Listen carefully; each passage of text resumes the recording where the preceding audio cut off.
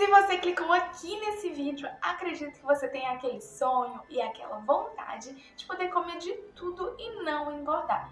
Então fica aí até o final desse vídeo que eu vou te mostrar como você pode fazer isso. Oi gente, sejam bem-vindos para mais um vídeo aqui no canal e o tema de hoje é o tema que vocês mais gostam aqui no canal, que é onde a gente fala um pouquinho sobre saúde, alimentação. Se você não sabe, eu sou estudante de nutrição do último ano, quase me formando, e eu trago aí sempre um conteúdo bem legal, várias diquinhas para poder ajudar vocês. Então, já vai se inscrevendo aí no canal para você não ficar de fora de nenhuma dessas dicas. E como é um quadro que vocês gostam muito, vai ser um quadro fixo aqui no canal com o nome de Nutrição em Prática. Por quê? Porque aqui todo esse conteúdo você vai colocar em prática, porque são conteúdos aplicáveis. Então, roda a vinheta.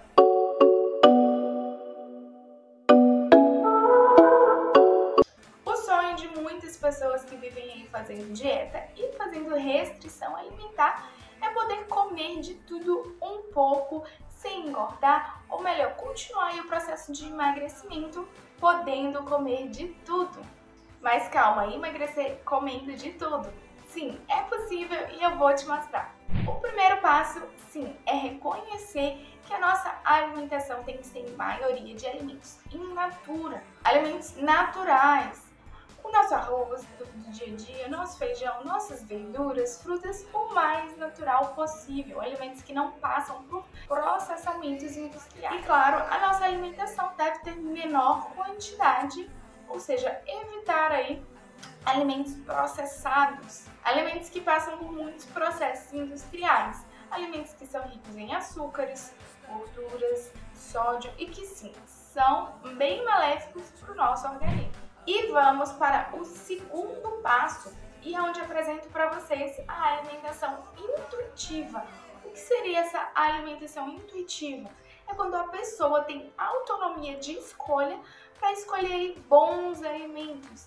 Ela mesma, durante a sua alimentação, seguia com total autonomia. Então a pessoa não segue um plano alimentar, a pessoa não faz restrição alimentar. Ela respeita os sinais do seu corpo sinais que eu vou te explicar no próximo passo. Mas dentro de um resumo da alimentação intuitiva, você come de tudo um pouco, dosando nas quantidades. Isso significa que você não precisa cortar os alimentos, mas sim diminuir nas quantidades. Dessa forma, você vai conseguir comer certos tipos de alimentos que às vezes você tem vontade sem interferir ou no seu processo de emagrecimento ou no seu processo de manter o seu peso. O terceiro passo é respeitar os seus sinais de fome e saciedade. Saber a hora de comer e saber quando parar de comer, certo? Existem diversas coisas que podem te levar a comer. Você tem que entender qual é a real fome. Se é uma fome fisiológica, se é uma fome emocional ou se você está comendo simplesmente por tédio. Você também precisa saber a hora de parar de comer durante as refeições, porque tem pessoas que comem a mais. Na maioria das vezes, quando uma pessoa faz dietas extremamente restritivas, esses sinais de fome e saciedade são um pouquinho mais difíceis de identificar por essa pessoa.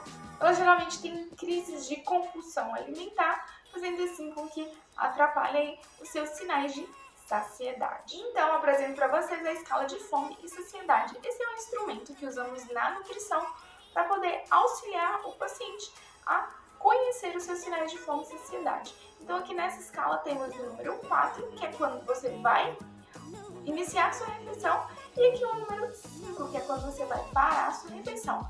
Então, as extremidades você vai tentar evitar ao máximo, então não comer quando já está com muita fraqueza, é tentar evitar ir ao máximo os extremos e não parar de comer quando já está passando mal de tão cheio, ou talvez com um desconforto, e ficar aqui entre né, o 4 e o 5, que são aí dois limites bons, assim você respeita tanto o seu corpo, né, e evita aí de comer a mais, do que você precisa. Quarto e último passo, e não menos importante, o comer com atenção plena. Rafa, mas o que é isso comer com atenção plena?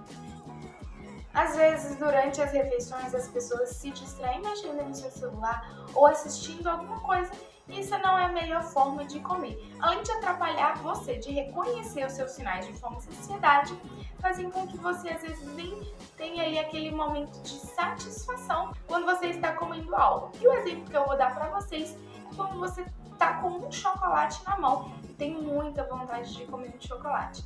E aí, conta como você faz. Você pega sua barra de chocolate e vai comendo ela ali, fazendo outras coisas, e acaba quando vê a barra já acabou, você ainda tá com vontade de comer mais chocolate, já comeu uma barra cheia e você ainda deseja mais, ou você é do tipo que senta numa cadeira, pega seu chocolate e fica ali aproveitando um momento, consumindo de maneira calma, ouvindo uma música, aproveitando aquele momento. E aí, qual dessas você é? Nessa, nessa, segunda opção, a maioria das pessoas que fazem isso geralmente não conseguem comer muita quantidade de chocolate. Por quê? Porque ele já conseguiu satisfazer o desejo de comer o doce ou o chocolate que ela tanto queria. Já a primeira pessoa dessa situação, além de não prestar atenção no que estava comendo, comeu além do que ela poderia, também acabou que não saciou o seu desejo de comer aquele chocolate, porque não parou um minuto sequer para aproveitar aquele E então vai ficar aí um exercício para vocês poderem fazer em casa quando você for consumir algo que você realmente tá, está com grande desejo e com grande vontade. Vou dar um exemplo do chocolate novamente. Pega o seu chocolate, senta numa cadeira, coloca uma música, tem ali o seu momento com o chocolate.